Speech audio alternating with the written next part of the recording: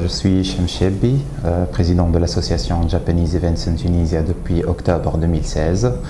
Euh, l'association, la JET, euh, pour disons l'acronyme, est une association qui est active depuis 2010 d'une manière officieuse et officiellement depuis le 13 février 2013.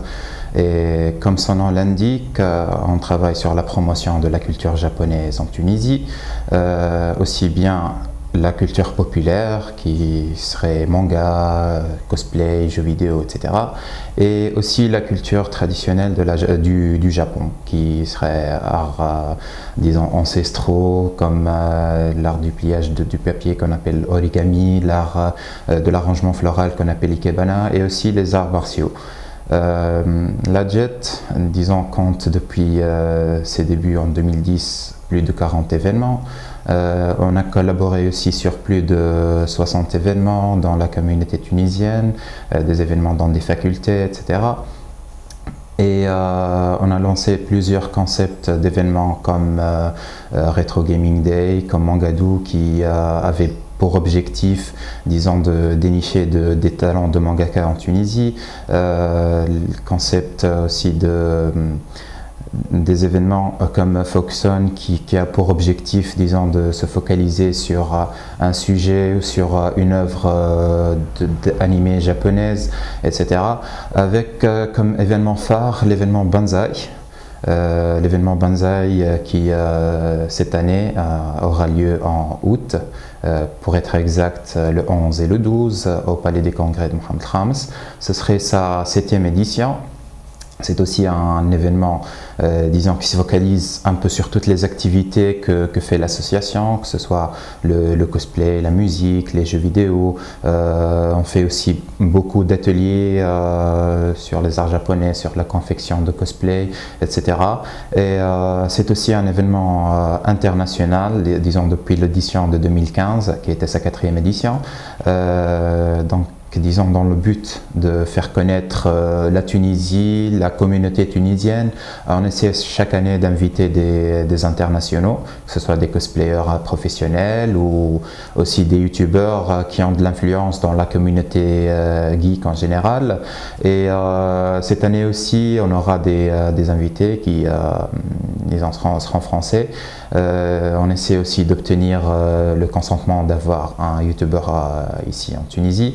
Et euh, disons tout ça dans l'objectif de présenter, euh, on peut dire, une belle image de la Tunisie, de faire connaître à ces gens qui viennent nous visiter euh, notre pays. Et je dirais avec succès aussi parce que chaque année que vient un invité, il rentre avec une, disons, une idée totalement différente de, de la Tunisie parce qu'elle diffuse leurs médias, etc.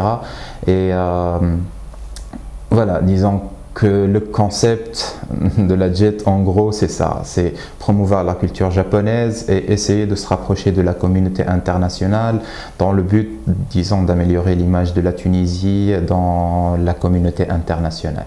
Le 11 et le 12 août, et euh, c'est une convention qui euh, compte dans les 4000, 4000 euh, personnes euh, en tant que public.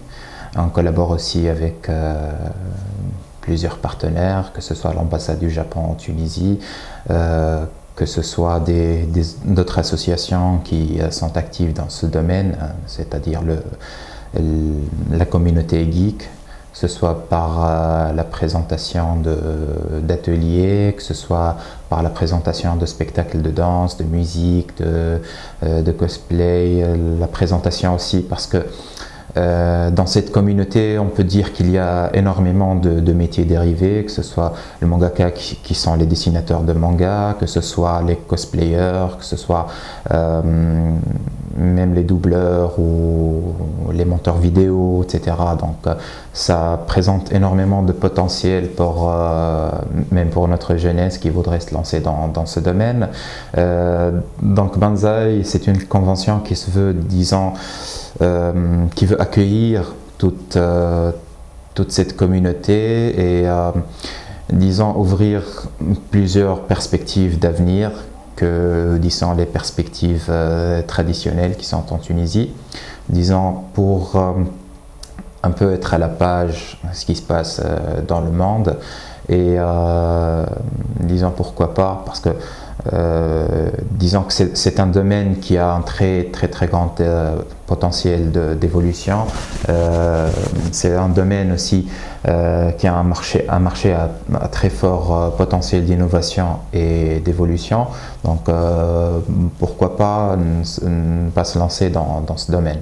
Je pourrais juger la participation tunisienne disons, euh, par la perspective des internationaux qui viennent ici en Tunisie, parce que euh, voilà, ils viennent ici en jury, euh, en observateur, etc. Et les remarques qu'on reçoit, c'est un, oui, c'est vraiment excellent ce que vous faites.